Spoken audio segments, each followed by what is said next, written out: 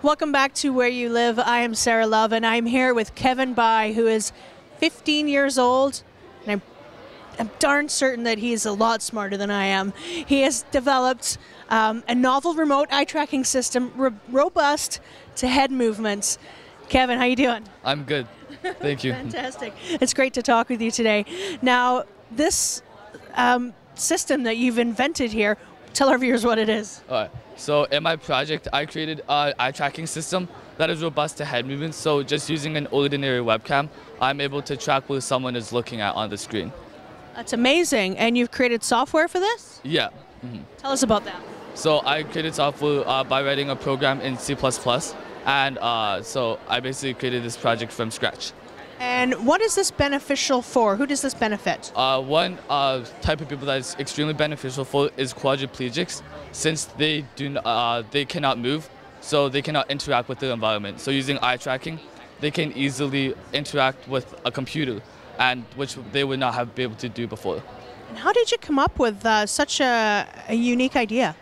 So I mean, uh, research has been done on eye tracking before. However, like they're usually ex- very expensive, or they're not that accurate. So in my project, I decided to create a very cheap eye tracker uh, that is both beneficial and accurate.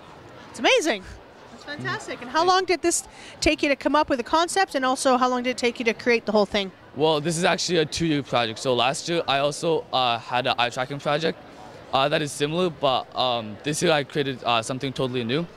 And so basically, over the past few years, I've learned a lot of information, and I was able to create this project. Wow. And what do you hope to do uh, in the future? Uh, obviously, you know, this is this is a two-year project, so you put some serious time into it. What do you hope to achieve? Um, well, well, for me, it's just for the experience because I love to. I mean, this is pretty fun for me. So to me, uh, just writing th- these types of programs is uh, beneficial, and it's a great learning experience. That's amazing. And what do you hope to, to do when you're older? Um, I'm not too sure yet, but probably maybe an engineer. Engineer. It's a good start. Yeah. Yeah. Excellent. I think, you, think you'll be very good at it. Thank you. Thank you so much, Kevin. Now, are you excited? What what uh, can you imagine uh, going? You know, winning this this. Uh, have you thought about it at all? What you do if you'd win? um, well, I'm just really here to like uh, just uh, show my project, and I mean, it would be great if I won or won an award, as it it'd be pretty nice. Mhm. be nice. Yeah. Thank you so much, Kevin, and uh, keep up with all the the amazing work you're doing. Thank you. Keep watching Where You Live on Shaw TV.